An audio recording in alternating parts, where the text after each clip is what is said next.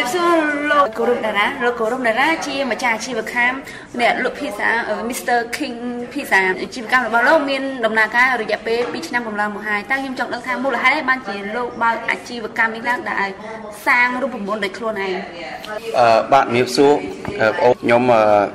បើកអាជីវកម្មភីសាហ្នឹងវា2ឆ្នាំហើយហើយ លក្ខណៈពិសេសរបស់ខ្មែរយើងគឺយើងយើងធ្វើអ្វីឲ្យវាទៅជារបស់យើងភីហ្សាវាជាផលិតផលរបស់ប្រទេសអ៊ីតាលី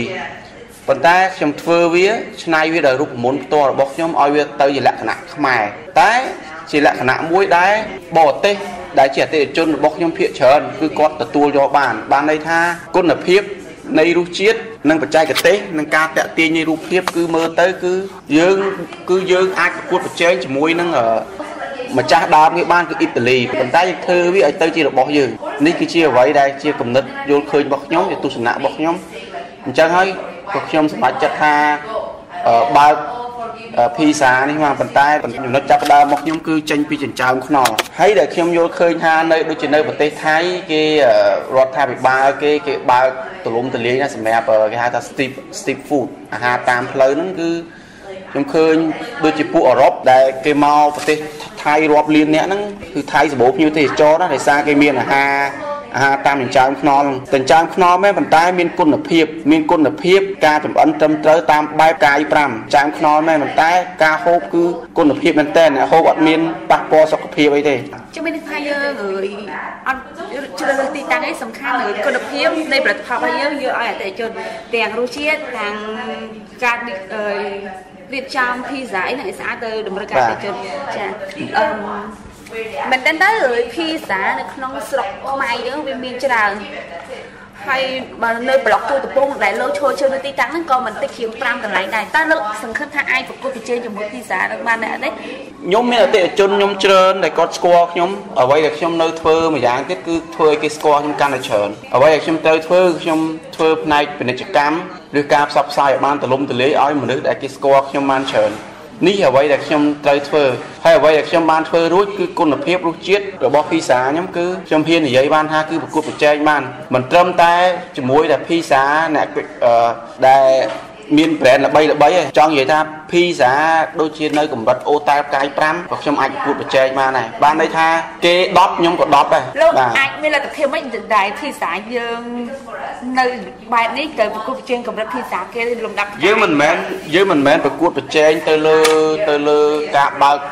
ផ្នែកហៅថាវិនិយោគយើងអត់មានលុយទេប៉ុន្តែយើងប្រកួតប្រជែងនៅលើរសជាតិវាគឺជាការច្នៃប្រឌិតរបស់យើងវាជាគំនិតរបស់យើងអ្វីដែលយើងគិត អ្វីយើងឃើញយើងឆ្នៃវាយើងធ្វើវាឲ្យវាមកជារបស់យើង ដែលដែលគេអាចដូចយើងបានដែរពេលលោកនិយាយថារូបមន្តយើងអ្នកសិតខ្លួនឯងអីទាំងអស់បាទប្រមូលហ្នឹងលោកអ្នកស្រាវជ្រាវខ្លួនឯងតែម្ដងឬក៏រៀនចេះពីខាងណាមកពីគ្រូដើមពីណាឬក៏បែកចេះពីខ្លួនឯងជាជាដំបូងយើងឆ្លងកាត់ការងារយើងឆ្លងកាត់ការងារផ្នែកចុងភៅផ្នែកអាហារអ៊ីតាលីហ្នឹងចាដូចជាជាមួយអឺអឺ មេចុងភៅធំធំនៅអូតែលកាយ5យើងឆ្លងកាត់ពីគាត់យើងចេះពីគាត់ប៉ុន្តែនៅពេលដែលយើងចេញរកស៊ីនៅពេលដែលយើងចេញធ្វើគឺយើងមិនមែនយកអ្វីដែលយើងចេះហ្នឹងយកមកធ្វើទាំងដុលទេគឺយើងបំបែកតទៅទៀត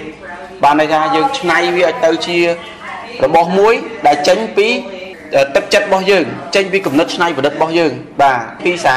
មនុស្សអាចចេះតតគ្នាបានប៉ុន្តែគំនិតច្នៃប្រឌិតដែលយើងកែចេញពីអ្វីដែលយើងចេះហ្នឹងគឺ វាគឺជារឿងមួយផ្សេងបាទនេះអ្វីដែលយើងអ្វីយើងធ្វើយើងឆ្នៃមកជារបស់យើងបាទខ្ញុំចាប់អារម្មណ៍ចំណុចពិសេសមួយទៀតខ្ញុំឃើញទីតាំងច្រើនណាស់តែហេតុអីមកជាលោកសម្រាប់ចិត្តយកទីតាំងនៅម្ដុំផ្សារទូតំពងជាជាកន្លែងឈរជើងនៃអាជីវកម្មរបស់លោកតំពងលោកមើលឃើញសក្តានុពលនៃតំបន់ហ្នឹងយ៉ាងម៉េចដោយដោយសារខ្ញុំមកឈរជើងទៅនៅផ្សារទូតំពងឯផ្សារទី1ផ្សារនេះតំបន់នេះវាសម្បូរបរទេស បាទហើយវាមានចង់ចង់និយាយថាយើងមានអតិថិជន2ក្នុងពេលតែមួយចាបរទេសផងខ្មែរផងហើយខ្មែរនៅអ្នកទូតំពុងគាត់មានលុយចង់និយាយថាគាត់មកផ្សារទូតំពុងគឺគឺបាទគឺអ្នកមានហើយផ្សោសារហ្នឹងរបស់ថ្លៃទី2មិនថាអ្នកមានគាត់អាច ហូបបានអ្នកក្រក៏អាចហូបបានអ្នកអត់លុយក៏គាត់ឃើញភីសាខ្ញុំឆ្ងាញ់គាត់ហូបហើយអ្នកខ្លះលក់បន្លែហត់ម៉ូតូដប់អីក៏គាត់មានលុយមកទិញនំខ្ញុំដែរប៉ុន្តែជាគោលការណ៍របស់យើងយើងមកឈរហ្នឹងយោងទៅលើកតាពីរទី1ភ្ញៀវបរទេសទី2ភ្ញៀវខ្មែរគឺសម្បូរដូចគ្នាចា៎បាទតែប៉ុណ្្នឹងរយៈពេល2ឆ្នាំកន្លងមកនេះលោកមានបានជួបការលំបាកអីនៅក្នុងរយៈពេលដើរអាជីវកម្មមួយហ្នឹងអឺវាជួបការលំបាកច្រើនដូចជាកម្លាំងចិត្តរបស់យើង ពេលខ្លះពេលយើងបើកដំបងដំបងមួយឆ្នាំឆ្នាំទី1គឺការលក់យើងអត់ថេយើងលក់ដាច់មួយថ្ងៃយើងស្ងាត់ពីរបីថ្ងៃយើងលក់ដាច់មួយថ្ងៃយើងស្ងាត់ពីរបីថ្ងៃណាអញ្ចឹងការដោយសារតែការលក់យើងវាមិនថិតថេរយើងមានអាចិត្តមួយចង់ឈប់ដែរប៉ុន្តែដោយសារឧត្តមគតិរបស់យើងមនសិការយើងយល់ឃើញថាការយើងធ្វើនេះវាត្រូវ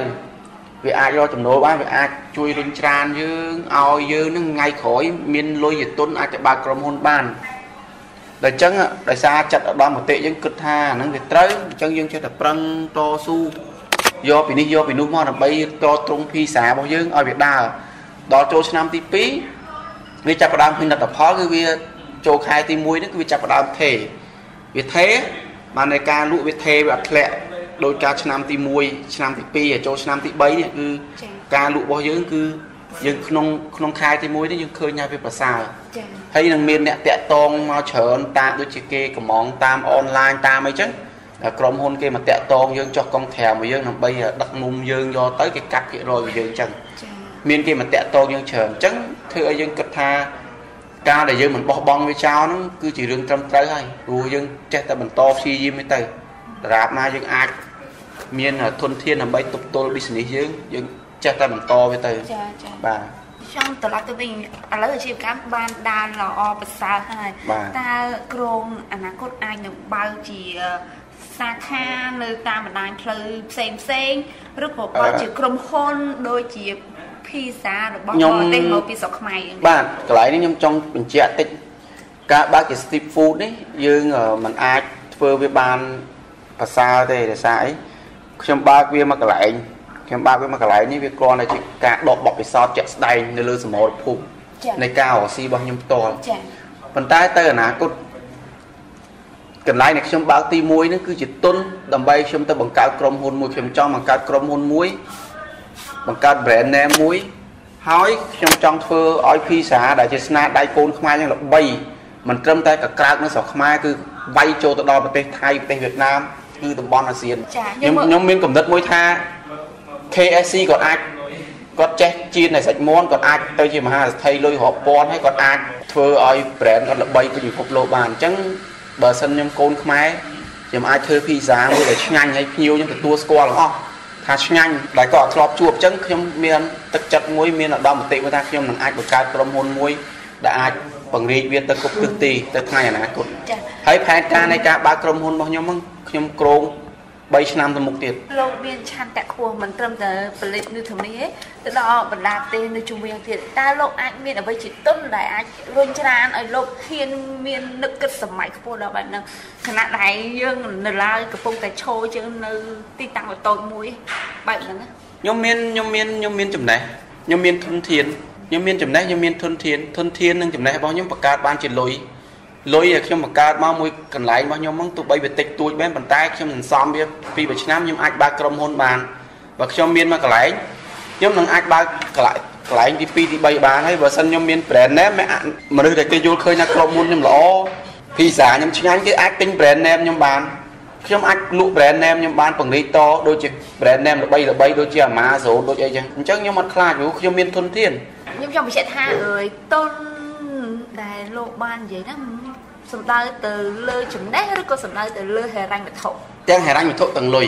ខ្ញុំចេញមករកស៊ីខ្ញុំអត់មានលុយទេខ្ញុំខ្ចីលុយប្អូនខ្ញុំ2200ដុល្លារចា៎បាទអញ្ចឹងខ្ញុំអត់មានលុយទេខ្ញុំមានចំណេះទៅខ្ញុំអាច យកលុយអាចហៅគាត់មកដើម្បីយកលុយ2200ហ្នឹងមកដើម្បីធ្វើ business ហ្នឹងឲ្យខ្ញុំបង្កើតលុយខ្ញុំនឹងធ្វើវាឲ្យបានខ្ញុំនឹងឲ្យក្នុង3ឆ្នាំនេះខ្ញុំនឹងធ្វើឲ្យចំណូលកើនហើយខ្ញុំនឹងយកចំណូលទៅពង្រីកក្រុមហ៊ុនបង្កើតក្រុមហ៊ុនមួយអញ្ចឹងនិយាយរួមមកចំណេះបង្កើតលុយបាទលុយនិងចំណេះត្រូវដើរអន្ទឹមគ្នាបើយើងអត់ចេះយើងអត់ច្បាស់ក្នុងមុខរបរឯមួយយើងមិនអាចយកលុយគេមកហើយយើងទៅរកស៊ីដោយព្រាវខ្ញុំច្បាស់ណាខ្ញុំធ្វើ pizza ហ្នឹងខ្ញុំច្បាស់ណាថា pizza ខ្ញុំឆ្ងាញ់ pizza ខ្ញុំគឺរសជាតិលំដាប់ brand ខ្ញុំច្បាស់អញ្ចឹងច្បាស់ក្នុងចិត្ត100%យើងថា pizza ខ្ញុំគឺវាឆ្ងាញ់អតិថិជនខ្ញុំដែលខ្ញុំធ្វើ survey មកមន្តិជននេះមិនដែលបាត់ទេលើកលែងតែគាត់ឈប់នៅស្រុកខ្មែរហ្មងដូចជាពួក NGO ពួកទូតពួកអីជាពិសេសពួកអឺរ៉ុបគាត់ធ្លាប់ទៅហូបភីសាល្បីល្បីដូចជា brand ល្បីល្បីរបស់អឺរ៉ុប តែគាត់មកហូបរបស់ខ្ញុំគឺជាប់ត្រឹមខ្ញុំហ្មងអត់មានដូរតាណាទៀតទេគឺភ្ញៀវគាត់ចឹងហើយភ្ញៀវបើគាត់មកហូបយើងម្ដងហើយគាត់ទៅបាត់គាត់សរសើរយើងគាត់ទៅបាត់អានឹងជារឿងមួយដែលយើងគិតថាគាត់ប្រឆាគាត់បញ្ចោយើងតែនេះអត់ទេគាត់ញ៉ាំយើងហើយគាត់សរសើរយើងហើយគាត់ទេកំងយើងហើយគាត់ញ៉ាំយើងហើយគាត់សរសើរញ៉ាំយើងជាប្រចាំមួយទឹកទឹកបំផុត2ដងដល់3ដងចុះបើយើងមានរបស់ពិតនៅក្នុងដៃការពិតរបស់យើងអញ្ចឹងហើយយើងខ្លាចអីយើងមានអីត្រូវខ្លាចនេះហើយដែលខ្ញុំនិយាយថាចំណេះគឺ ដែលយើងចេះច្បាស់លាស់នឹងវានឹងទៅបង្កើតលុយចាបាទចុះមានថាអតិថិជនតែលោកសេតហ្នឹងគឺភិកច្រើនបរទេសច្រើនជាងអតិថិជនក្នុងស្រុកអត់ទៀងអត់ទៀងទេមិនតែវាអាចវាអាចវាអាចពេលខ្លះខ្មែរច្រើនជាងពេលខ្លះបរទេសច្រើនជាងតែទៀងប៉ុន្តែរហូតដល់ពេលនេះខ្ញុំអាចឈរជើងបានដោយសារភ្ញៀវភ្ញៀវខ្មែរនិងភ្ញៀវអឺរ៉ុប50 50 ចាគឺស្មើដៃគ្នាស្មើគ្នាបាទតែថ្ងៃខ្លះខ្មែរច្រើនជាងអឺរ៉ុបថ្ងៃខ្លះអឺរ៉ុបច្រើនជាងខ្មែរអាចមកពីមូលហេតុអីដែរក៏អាចមកពីមូលហេតុដូចថាអឺខ្មែរយើងគាត់អត់សូវហូបទេអត់សូវហូបញឹកញាប់ដូចអឺរ៉ុបទេព្រោះអឺរ៉ុបភីសាដូចជាបាយរបស់គេអញ្ចឹងចាចាហើយខ្មែរយើងភីសាគឺជាអាហារកម្សាន្តរបស់គាត់គាត់មិនមែនហូបជាប្រចាំអញ្ចឹងគាត់អាចហូបអូម៉ារយើងមានភ្ញៀវខ្មែរ30នាក់អញ្ចឹងគាត់អាចហូបមួយខែម្ដងអញ្ចឹងយើងមានភ្ញៀវអឺរ៉ុប 30នាក់អញ្ចឹងភ្ញៀវអឺរ៉ុបគាត់អាចហូបមួយខែ2ដងឬ3ដងយើងចង់និយាយអញ្ចឹងតែភ្ញៀវខ្មែរយើងនិងភ្ញៀវអឺរ៉ុបបើខ្ញុំតាមខ្ញុំធ្វើ survey មើលទៅ គឺវាច្រើនដូចគ្នាបាទយើងរាប់អត់បាន